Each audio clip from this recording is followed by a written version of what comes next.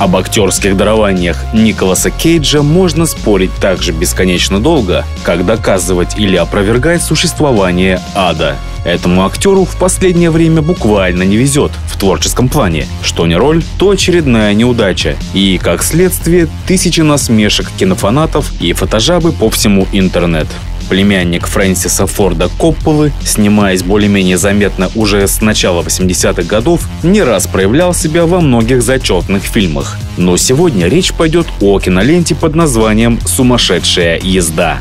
Этот фильм снимался прямиком в формате 3D на специальные кинокамеры и в первую очередь предназначался для развлечения нас с вами. То есть кинозритель, придя в кинотеатр, должен был погрузиться в волшебный, подчеркну это слово, волшебный мир кино. Интернет-критики, ищущие киноляпы и на полном серьезе дающие оценку сценарному мастерству создателям данного фильма, как обычно, разбомбили работу режиссера Патрика Люсье. Думаю, многие согласятся, что при желании можно разнести в клочья любой фильм. Абсолютно. Будь то работа хоть Джеймса Кэмерона, хоть Александра Невского.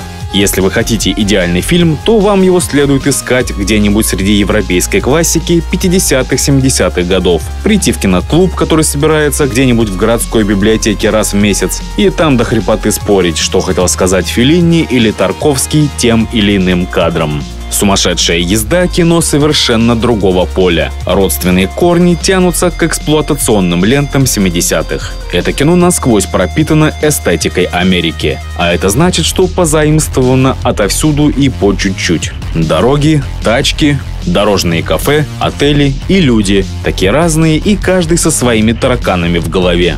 К слову, вот вам небольшая экскурсия в дебри сюжета. Главный герой в исполнении Николаса Кейджа бежит прямиком из ада. Его цель – миссия спасения собственной внучки от банды мерзких сатанистов, во главе которых стоит гнусный тип по фамилии Кинг. Этот гражданин убил дочь главного героя и теперь хочет провести богомерзкий и ужасный ритуал с младенцем. Герой Николаса Кейджа, словно ураган, сметая со своего пути последователей культа крупнорогатого хозяина подземных котельных, добирается медленным, но верным путем до глотки предводителя сатанинской шайки, чтобы внучку спасти и поквитаться с уродом за своего ребенка.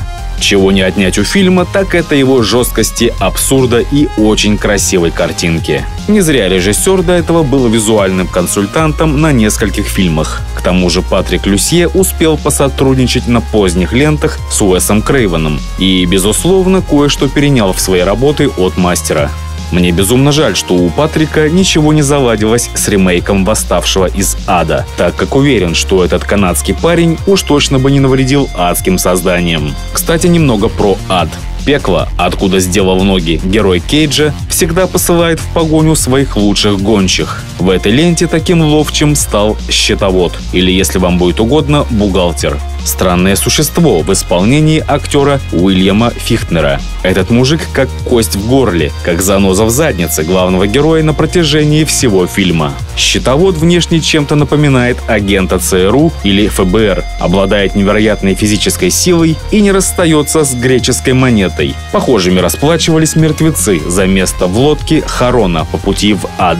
Партнерша Николаса Кейджа, актриса Эмбер Хёрд, сыграла стандартно. Ничего выдающегося про ее актерскую игру сказать не могу. Просто красивая актриса и украшение этого фильма порадовало появление, хоть и ненадолго, актера Тома Аткинса, сыгравшего на своем веку во многих годных лентах, в том числе и у уважаемого мною и многими моими подписчиками Джона Карпентера. Машины. В фильме с названием «Сумасшедшая езда» никак не обошлось без красивых и мощных созданий. Рев мотора, визг колес действительно украсил это кино. Герой Николаса Кейджа ездит на классических американских автомобилях 60-70-х годов Dodge и Chevrolet. В то же время сатанисты дружно уселись в Motorhome, что является тонкой отсылкой к ленте с участием Питера Фонды «Гонки с дьяволом», Обзор на этот фильм есть на моем канале, обязательно посмотрите. Я не ходил в кинотеатр на это кино, но анализируя эффекты фильма, могу точно утверждать, что 3D этой картины выдающимся назвать нельзя. Однако интересные находки все же есть. Кстати, если верить слухам, то над компьютерными эффектами работало очень много фрилансеров. Да-да, именно поэтому визуальный ряд в целом мне показался не совсем обычным.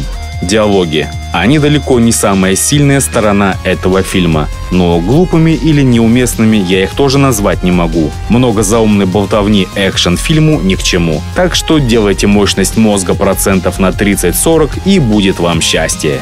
На протяжении фильма зрителей дозированно балуют жесткими сценами. На закуску припасли сцену с черепом. К концу ленты меня даже нисколько не удивило желание главного героя выпить пивка из черепа злодея, словно из какого-то кубка. Сама идея, конечно же, не нова. Вспомним хотя бы классику Булгакова, где Воланд пил из черепа Берлиоза кровь барона Майгеля. До сих пор ученые спорят, пить из такого кубка надругательство над вражескими останками или знак почтения к ним. Покопавшись в истории вопроса, ничего внятного я не нашел. Но такая жуткая традиция все-таки существовала у многих народов. Сумасшедшая езда – не скучное кино, с хорошим визуальным решением и качественными звуковыми эффектами, что, естественно, подразумевает просмотр на телевизоре с большой диагональю и качественной акустической системой. Лично меня этот фильм стоимостью около 50 миллионов долларов и с участием Кейджа изрядно развлек и повеселил. Когда-нибудь про это кино будут писать только хвалебные отзывы и ставить в пример как классику двухтысячных. А Николас Кейдж обретет статус культового культового актера в категории «Б». Я серьезно, ведь все золото настоящего кинематографа именно там. А «Сумасшедшая езда» — стопроцентный эксплуатационный фильм, место которому в grindhouse кинотеатре, куда я с удовольствием купил бы билет.